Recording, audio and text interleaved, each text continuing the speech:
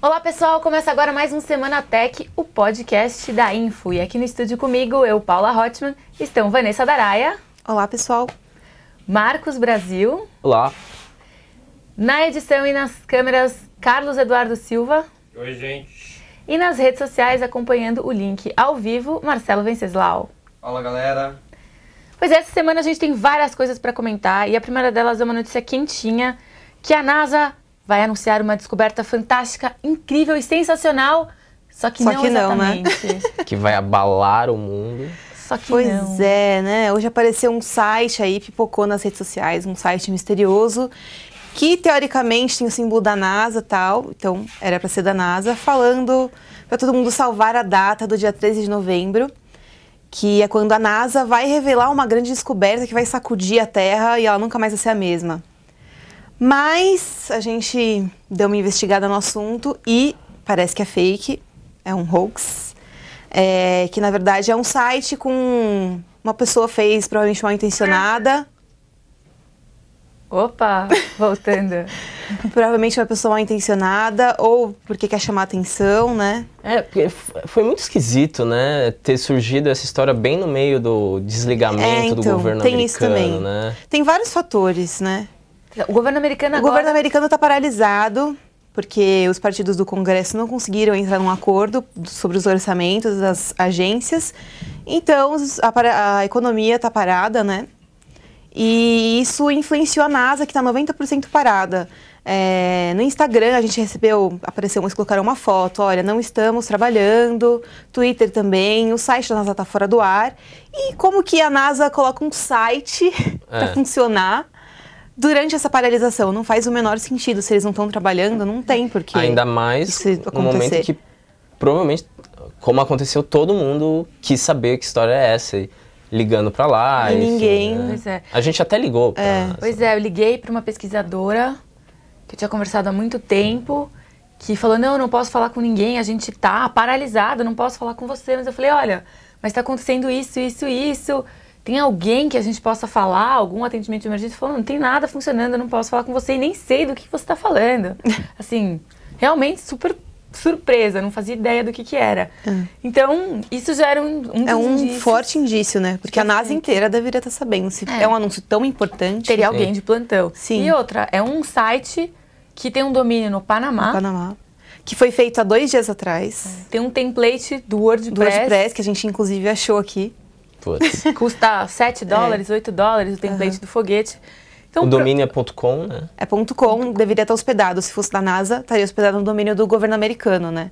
Seria, sei lá, Ponto ponto gov, .gov, né? ponto .nasa.gov, e não é. Então, E no Reddit o pessoal também tava tá levantando teorias de que, enfim, levantando os motivos que mostram que aparentemente é realmente uma farsa, né? É, tudo Mas ia ser que muito legal. Ia ser muito Ia ser legal. muito legal. Na hora a gente, nossa, que legal. Mas, putz, será que é verdade? É. E anunciar, provavelmente todo mundo tá esperando anunciar a vida em Marte, Vida em alguma coisa Marte, já- ou o fim do mundo. fim do mundo. Mas aí não seria uma questão alegre, né? Um site. É, ah, um site de- Ah. cheio de estrelinhas e foguete, desenho e tal. Eu ia preferir que não anunciassem o fim do mundo. É, eu também. É, Tipo, é melhor acabar sem você saber, assim, né? Acabou. é verdade. Podia anunciar depois, né? Piada. Cado Silva. Bom, É. gente, então, olha, uma dica.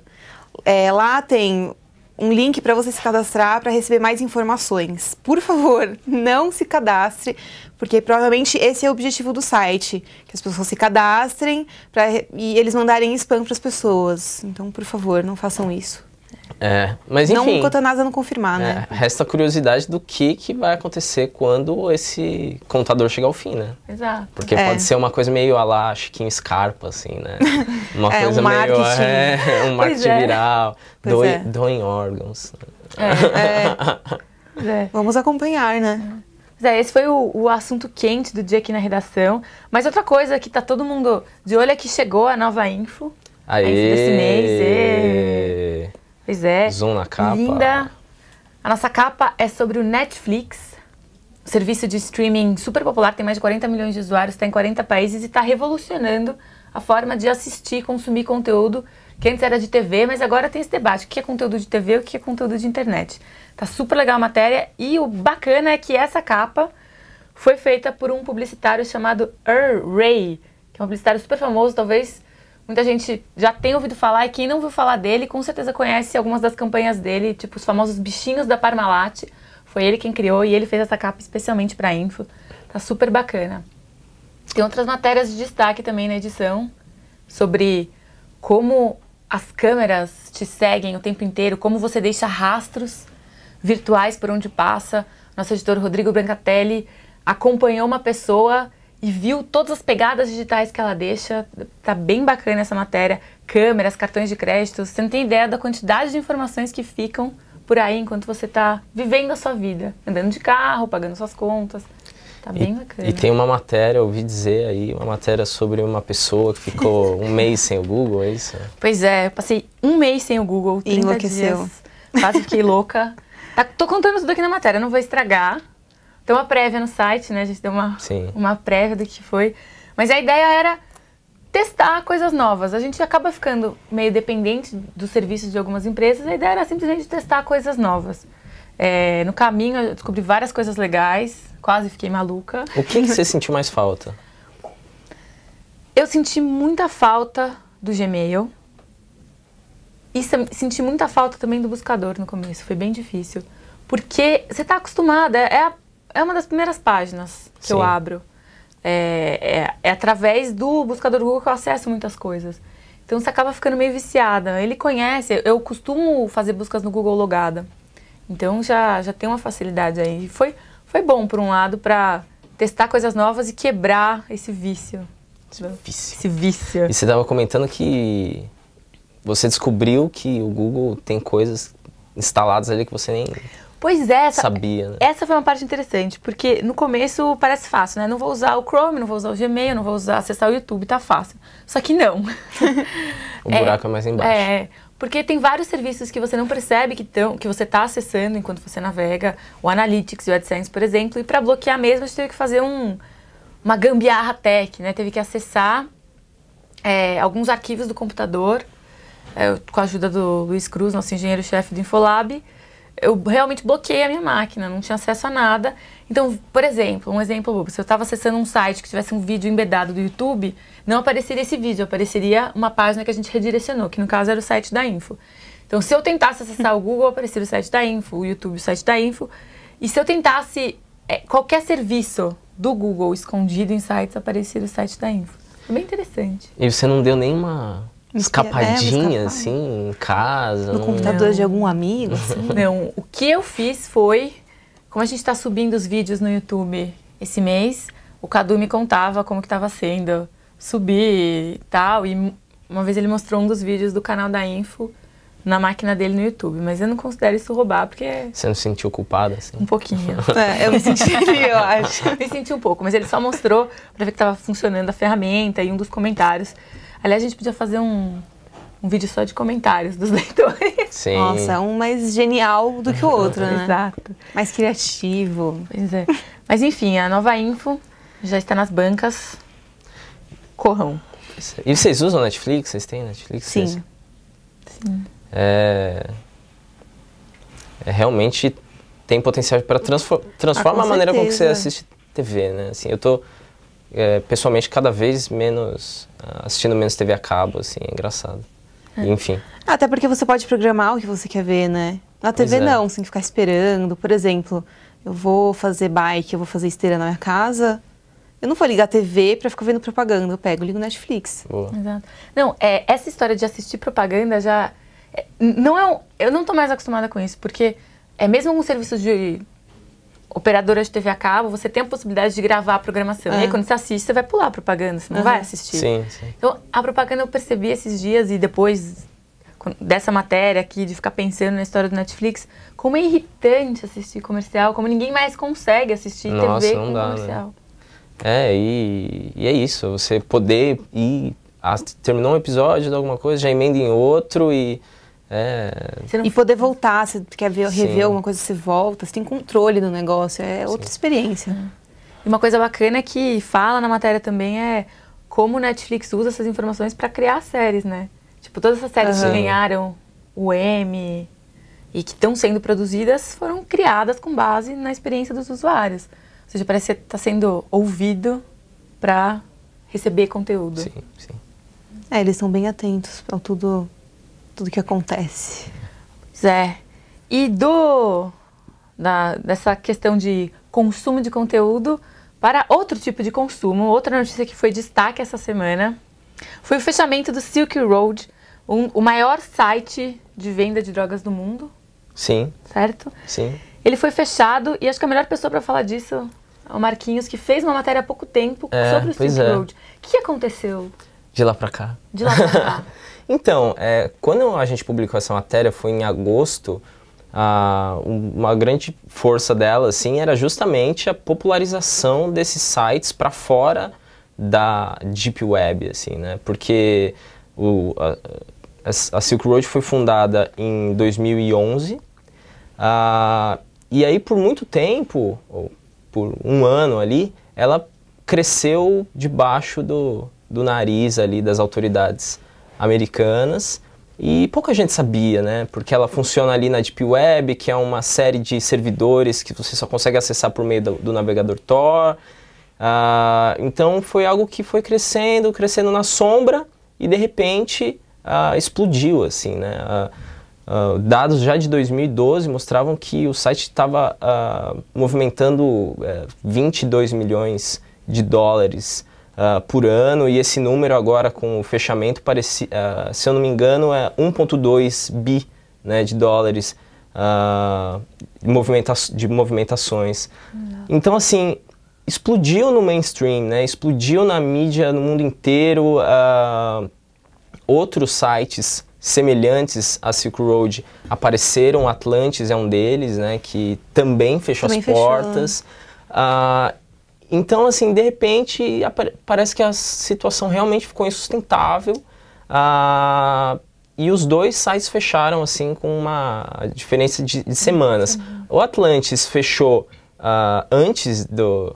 ah, eles alegaram, os administradores alegaram problemas de segurança e desapareceram, mas o Silk Road foi, o F- amanheceu com aviso de fechamento do FBI, e aí, logo em seguida, veio a notícia de que o Dread Pirate Roberts, né, o Ross Ulbricht, que agora a gente sabe, né, que é o Ross Ulbricht, ele foi preso também em São Francisco. Um dia antes, ele foi preso na terça-feira, está sob custódia do FBI lá em São Francisco.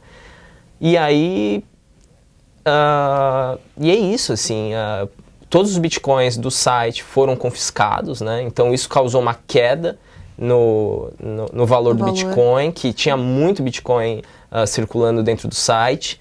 E aí todo mundo ficou desesperado, os usuários ficaram desesperados, né? Enfim, para quem é, a- o Silk Road, o maior negócio da- do site era a venda de drogas ilegais. né? Você, vê- você comprava de tudo ali. É que eu lembro na matéria que quando você fez, foi impressionante, porque eram drogas, maconha, cocaína. Sim. Umas Mas- horas bizarras é, também, né? Sim. bizarras, remédios, né? É. E não, e CD, livro, tinha? é, tinha, chá de ópio, cê- era a cauda longa do, contra, do contrabando, assim, né? Não, e é isso, e, e a festa acabou, aparentemente, assim, né? Porque esses caras, os, os clientes do, do Silk Road, eles viviam ali num, ah, num universo paralelo, né? Em que ah, eles agiam ah, ah, fora, da, fora da lei ali e meio que com a impressão de que nunca aconteceria nada. E aí fechou. E todo mundo foi pego de surpresa, foi do nada, assim. Ah, mas aí o Gabriel Garcia, nosso repórter, ele fez, eh, ele está acompanhando de perto essa história. Ah, ele fez uma reportagem que a gente publicou ontem no site, ah, muito bacana, Muito contando ali ah, os erros básicos que o Dread Pirate Roberts cometeu, né? Ele, assim, ele eh, usava os log, eh, mesmo, eh, logins iguais em, em em diversos serviços, assim. Então, no Stack Overflow, que é um site de, de respostas para dúvidas de programação, ele usava um login que usou mesmo em, eh, em um outro lugar relacionado à conta dele na Silk Road. Ah, Se logou num café. num café, exato. Ah, então, assim, ele vacilou. Acho que se eu fosse cliente, eu estaria desesperada com medo de ser Né? presa, né? Pensa, porque querendo ou não, você faz, faz um cadastro no site. Sim. Mas, é, Ma- Marquinhos, agora você me ajuda aqui, me corrija se eu estiver errada. A impressão que ficou foi eles passaram esse tempo todo sob o radar e toda essa história deles usarem a Deep Web, a rede Tor, que vai, vai direcionando para vários servidores e é meio impossível rastrear, tornava eles meio invencíveis. Agora, ele foi preso porque ele estava em solo americano e ficou provado que ele era que ele estava gerindo de lá. Sim, é muito é. difícil para o governo americano fazer algo em outro país. É, porque assim, sim, ah, foi até um. ah, eles não chegaram nele rastreando a rede Tor. Isso é, isso é importante ser dito. Assim, eles não foram. ah, eles encontraram, ah, em- além. fo- Foi uma investigação muito ampla, assim, né? Então eles identificaram um servidor, eles ah, fizeram também um trabalho ali de, de engenharia social para chegar até ele. Então, assim, o, o grande delator do, do Dread Pirate Roberts foi, ah, foram as próprias ações dele, assim, né? Fora da, fora da Deep Web. Então, realmente, se ele tivesse operando fora, para a Polícia Federal Americana pegá-lo seria Mais difícil. realmente mais difícil, sim. Mas o que a Van falou, é, a Silk Road tem um, um fórum, no, uma página no Reddit. E aí, obviamente, ontem esse fórum tava assim... Bombando. É, tava em- em- pegando fogo. E uma das preocupações era, era uma das preocupações era justamente essa, né? E agora? Mas é, o que o principal tópico falava assim, gente, calma, 90 para 90, isso é maluco também, né? Para 99% dos clientes, isso não vai resultar em nada, porque todos os dados eram ah, eram enviados ah, sob criptografia, mesmo para os para os vendedores. Então, assim, ah, mesmo que esses dados sejam capturados, provavelmente a polícia não vai conseguir acessar esses dados, assim. E os clientes também, eh, o perfil do Sil- Silk Road é de compra de pequenas quantidades de, ah, de drogas, assim, né? Então, ah, então é, acho que é o grande, o grande lance disso tudo é assim, é o FBI fazendo uma, uma declaração de que, olha, Aqui não. Aqui, a, a gente vai.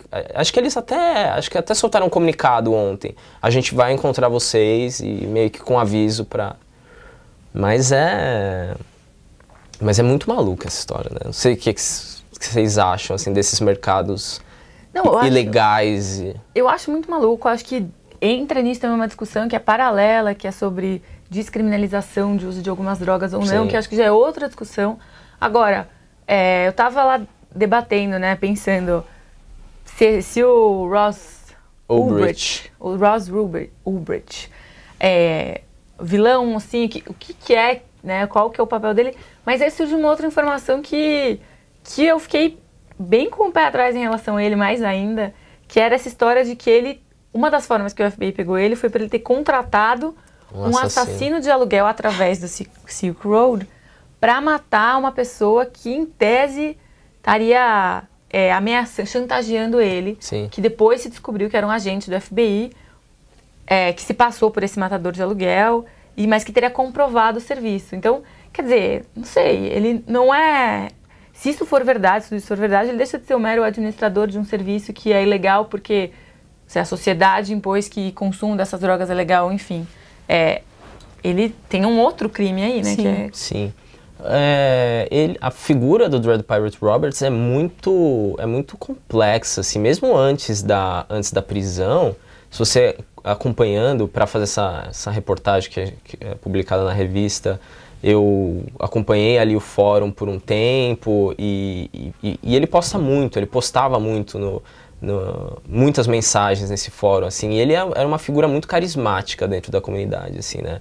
Então ele tinha, enquanto o Atlantis tinha um perfil mais profissional, ele já era o oposto, assim, ele era a figura do líder carismático e ele se dizia o líder do navio e assim as regras ele que ditava. Ele tinha uma eh, ele tem uma associação muito forte, ele está muito ligado com ideais de ah, liber- eh, ideais libertários, de que o governo não deve, governos e instituições não devem mandar na vida das pessoas. Então a assinatura do, dele no fórum tinha um link para alguns textos anarquistas. Então assim, eh, ele a, a figura do Dread Pirate Roberts sempre foi muito admirada dentro da, dentro da comunidade, assim, Cê, eh, existia essa coisa quase que messiânica dele, assim. Só que aí agora, ah, surgindo essas, essas novidades, né? Essa história de que ele realmente contratou um assassino de aluguel, a coisa meio que muda de figura, assim, né? O cara, ele é... Do mal. Porque, né, porque não tem jeito, né?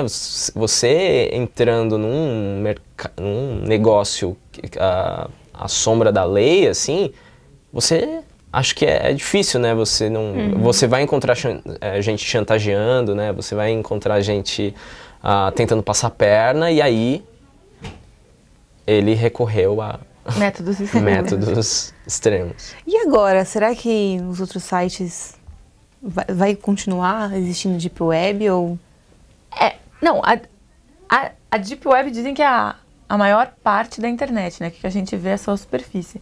Se, conti- se esses outros sites É, os outros sites- aí dentro dela, acho que com vou certeza. conseguir sobreviver? Mas eu acho, acho que é, não sei, na minha opinião, vão surgir outros com certeza. Talvez tomando mais cuidado, mas é muito difícil que não surjam. Não sei. É, é, já existem, né? O- é, tem, tem vários que, que ainda estão operando e é, e é bem possível que esse, que essa, ah, esse volume de compra e venda acabe se diluindo por esses outros sites. Tem o Black Market Reloaded, ah, tem um outro chamado Ship Market. Então, assim, ah, mas é um aviso, né? É o que, é o é, que eu falei então. do FBI, né? Assim, a gente vai atrás de vocês. Ah, mas por outro lado é isso. É, o Dread Pirate Roberts realmente vacilou, né? Então. Isso prova que o FBI não está de, em, Não tá- paralisação. é, não tá está parado. Não paralisado. está paralisado. Não, acho que a paralisação atinge só as agências consideradas não prioritárias, sabe? De meio É. ambiente, saúde, FBI, eu acho que É, nem pode parar. NASA, né, gente? Pra quê, né? Que Bobeira. Fechar, robozinho em Marte. que É, nada a isso? ver. Deixa ele hibernar lá, Poxa. descansar um pouco. Nossa, o dia que forem anunciar a vida em Marte ou que existiu a vida em Marte, eu vou querer estar lá, tipo, na primeira cadeira do, do anúncio da coletiva. Tipo, muito momento histórico. Não, emocionante. Nossa, é. total. Não, e essa história é realmente uma pena, assim, né? Porque é, ti- tinham alguns. o- A Curiosity acabou de encontrar lá na re- registro de água, De no, no água. solo, Aham. né? É, tem a história do que a gente estava até comentando, das- da possibilidade de, de explorar o subterrâneo de Marte. Encontrar uma cidade fantasma. pensou? Imagina. Uma cidade Nossa. subterrânea. Falar em coisas misteriosas, cidades fantasmas. Ai, meu Deus. Um outro medo. assunto da semana foi um lago do terror, que foi divulgado por uma revista científica. Um lago na África, na Tanzânia. Foi batizado de Lago Assassino, ou Lago de Natrão, Natrão. né? porque ele transforma em pedra todos os seres vivos que se aproximam dele. Meu, que medo, né? Quase todos os Quase- seres É, vivos. quase todos. Quase todos. E tem uma espécie de É. peixe que consegue sobreviver lá dentro a temperaturas de mais de 60 graus Celsius e um pH que varia entre 9 e 10,5. É alcalino isso, né? Se eu não me engano. Não, é, é. qua- Você vê as fotos desse lago, os bichos realmente viram pedra. Tem É, pássaros que tem viraram. pássaro que- não, pra pe- fora, sei lá. O que, que, que acontece nesse lago, Van? São uns componentes, né? Imagina o Tietê. Piorado, né? É a mesma coisa. É natrão. É um dos componentes que é uma Bi- mistura de carbonato e É, de bicarbonato carbonato. de, Isso, sódio. é. Então são elementos químicos que matam, né? Esses animais, Calcificam, pássaros, né? E calcificam eles. Mesmo que tenha alguma proteção, ele não consegue sobreviver, né? Não adianta. Parece que o lago é su- tem uma superfície que é um quase como um espelho. Com um espelho que atrai, né? Confunde os bichinhos. Aham. os É bichinhos. igual o espelho, sei lá, daqui. É. Os bichinhos acham que continua e o pássaro bate. Não, é- E ele é tão cruel que, eh, pelo que, eu, pelo que eu li, ele forma, em alguns momentos, ele forma uma ilhas de sal na superfície dele. Então são ilhas sólidas, né?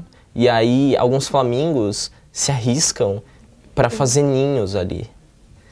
E só que é arriscado, né? Tanto que uma das fotos é justamente de um flamingo petrificado. Petrificado. E os flamingos costumam se aproximar desses lagos, dessas regiões que tem muito sal. É, é o ambiente natural deles. Aham. Aqui na América do Sul, eles ficam em regiões, no Chile, em regiões que tem muito sal. Então, até entendo. Se, se realmente se formos as Ilhas de Sal, eles devem associar com. Nossa, eu não sabia disso. Sério? Juro. Que legal. É o que as férias não fazem com uma pessoa. férias também é cultura. Certo.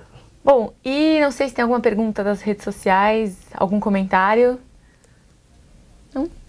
É, acho que então com o nosso O Flamingo petrificado. Flamengo petrificado e as lembranças de umas boas férias na América do Sul, a gente encerra mais um podcast da Info e até a semana que vem com mais novidades.